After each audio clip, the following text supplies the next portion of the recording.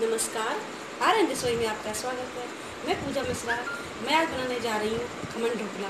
और आपको मेरी वीडियो पसंद आए तो प्लीज़ मेरे चैनल को सब्सक्राइब ज़रूर कीजिएगा। खमन ढोकला बनाने के लिए हमें चाहिए बेसन। हमने एक कटोरी बेसन लिया है। तेल, हमारा रिफाइंड ऑयल है। चीनी इनो पाउडर बेकिंग सोडा नमक, नींबू का रस। चलिए बनाना शुरू कर सबसे पहले हम एक बर्तन में बेसन करेंगे। इसमें डालेंगे हम नमक।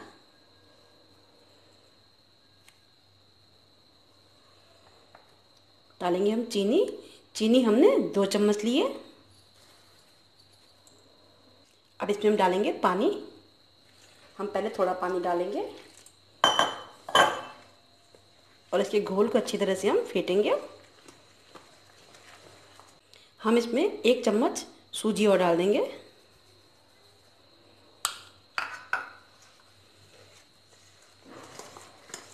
देखिए, इसका घोल तैयार कर लिया है हमने इसका। इसकी हमने चीनी घोलने तक इसको अच्छी तरह से फेंटा है। अब डाल देंगे इसमें हम ऑयल। हमारा वेजिटेबल ऑयल है। हमने इसमें एक चम्मच ऑयल डाला है। अब इसको मिलाएँगे। अब इसमें हम पानी और डालेंगे।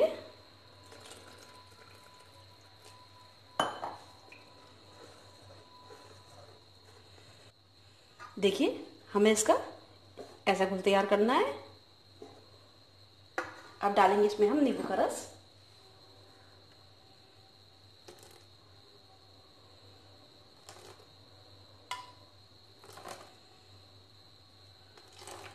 हमने इसमें चार चम्मच नींबू का रस डाला है। अब इसको मिलाएँगे। अब डालेंगे इसमें हम बेकिंग सोडा।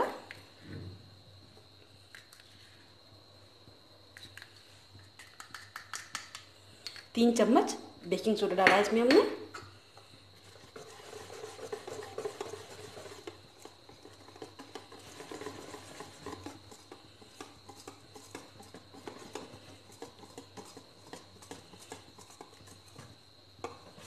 अब डालेंगे इसमें हम इनो पाउडर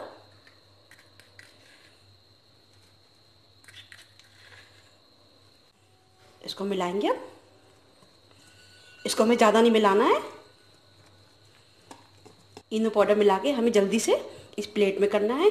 हमने इस प्लेट में ऑयल लगा लिया है। इसमें इसको हम कर कर देंगे अब। हमने इसमें कर दिया है। अब इसको हम थोड़ा सा हिलाएँगे। ताकि ये सेट हो जाए एक साथ। इसको हम तुरंत पकने रख देंगे। हमने एक कढ़ाई में पानी गर्म कर लिया है। इसमें हम इसको रख देंगे।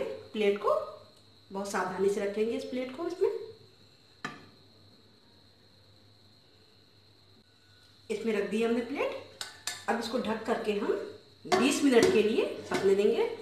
इसको हम 20 मिनट के लिए पकने देंगे। गैस को हम मीडियम कर देंगे। देखिए हमारे 20 मिनट हो चुके हैं। अब इसको हम खोल लेंगे। देखते हैं। इसको हम टूथपिक डाल के देखते हैं। देखिए ढुकने चिपक रहा है। देखिए। अब इसको हम निकाल लेंगे। गैस बंद कर दिया हमने। अब इसको निकाल करके पहले हम ठंडा कर लेंगे। जब तक हमारा ढोकला ठंडा हो रहा है, उतनी देर में हम इसका तड़का तैयार कर लेते हैं। हमने एक पैन में एक चम्मच तेल गरम कर लिया है। इसमें हम डाल देंगे। राई, पंद्रह, कड़ी पत्ते। सात से आठ हरी मिर्च इसको हमने ऐसे नमक डाल लिया इसको डाल देंगे।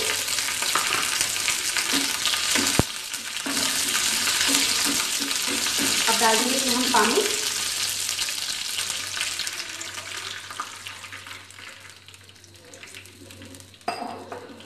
हमने चार चम्मच चीनी ली है।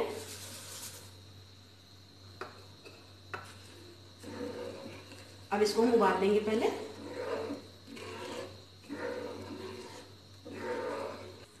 हमारा भी उबल चुका है, देखिए। हम गैस बंद कर देंगे और इसको हम ठंडा कर लेंगे। देखिए, हमारा ढोकला ठंडा हो चुका है और हमारा तड़का भी ठंडा हो चुका है। अब इसमें हम चार चम्मच नींबू का रस डाल देंगे।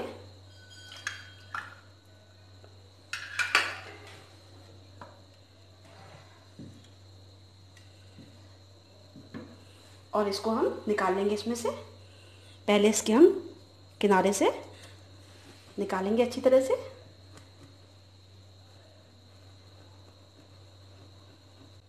अब हम एक बड़ी प्लेट लेंगे और इसके ऊपर ऐसे रखेंगे। इसको हम ऐसे पलट देंगे।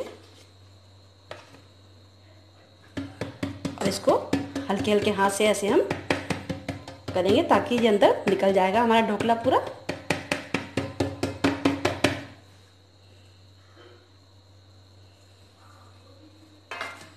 देखिए।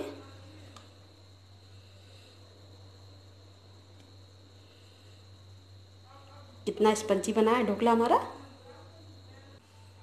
हमने इसमें निकाल लिया है। अब इसको हम काट देंगे।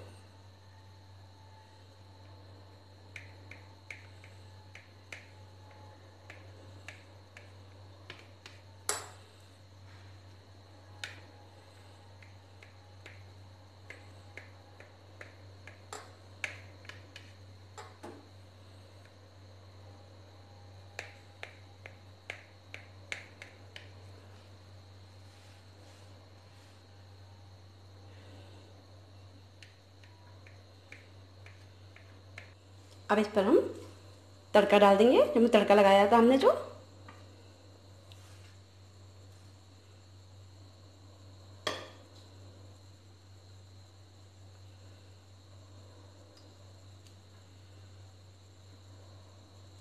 देखिए, हमने इसके ऊपर तड़का लगा दिया है पूरे में। उसका पानी डाल दिया हमने इसमें।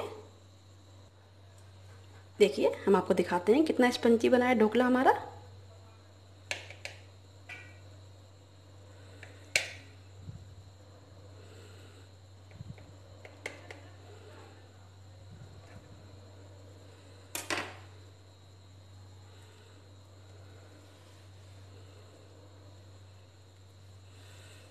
देखिए।